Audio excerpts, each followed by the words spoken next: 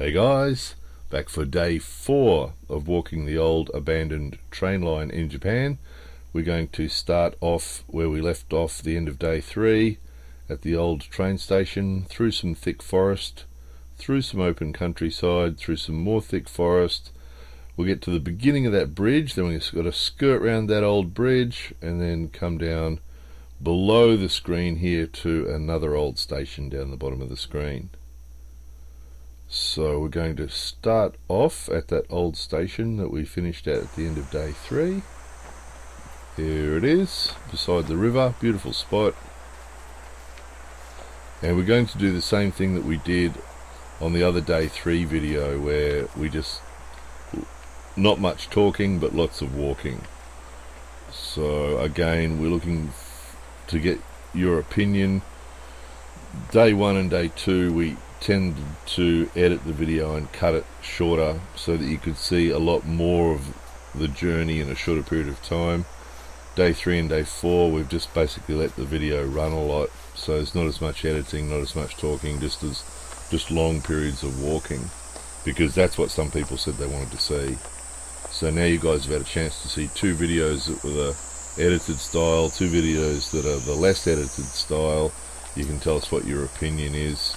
Do you prefer the day one and day two videos or the day three and day four videos?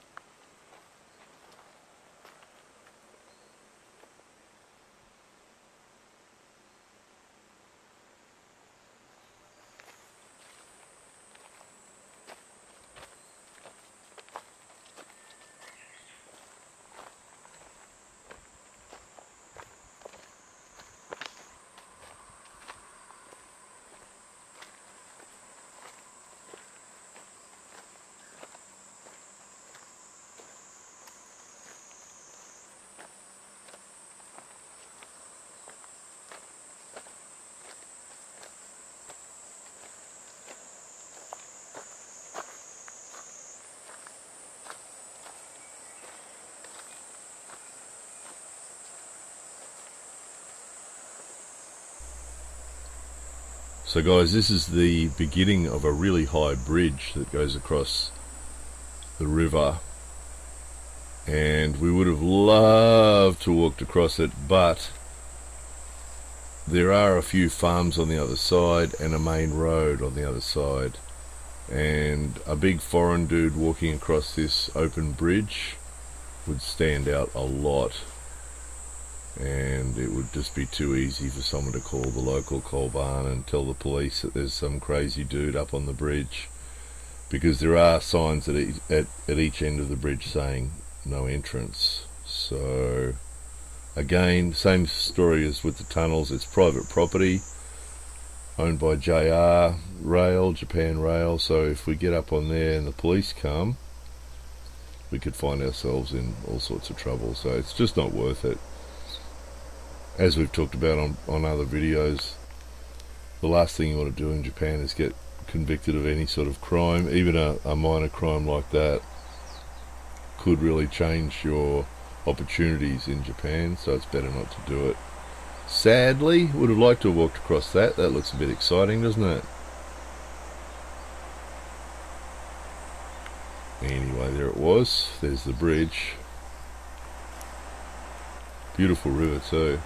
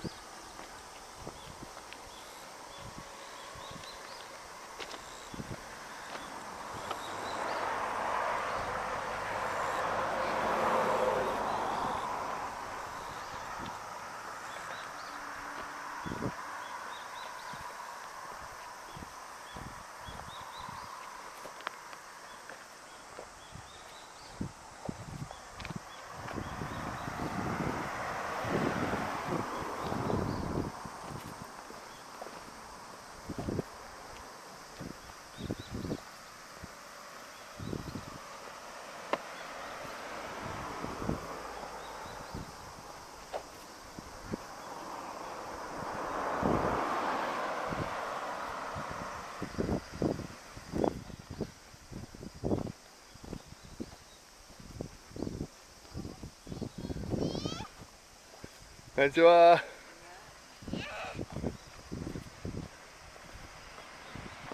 重いですね。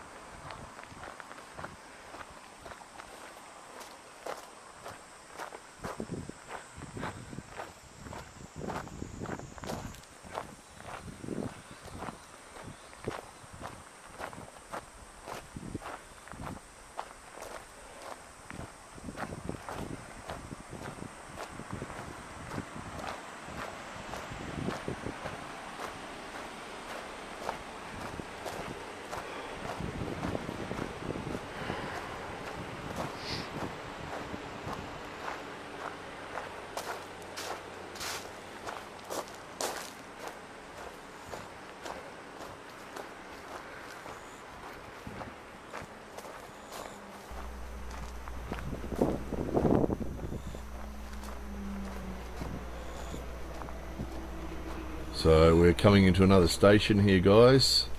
Pulling into another station at the end of day four. The station building's actually gone, but the platform's obviously still there. As is this rather intriguing little red wooden thing that appears to have been made with the intention of being able to push it up and down the track. So it's sort of like a seat on it. But it just seems that the wheels, they use these little wheels on it. And the wheels don't sort of seem adequate. It sort of didn't want to roll, didn't want to slide. So it's a bit hard to know what they're doing. It looks like you'd put a couple of kids on there and push it up and down or something. Who knows? Interesting idea.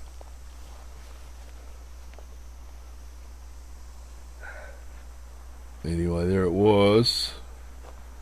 So this is where we'll take off for day five. So again, interested to hear from you guys the the day one, day two style of of video that was a bit more heavily edited.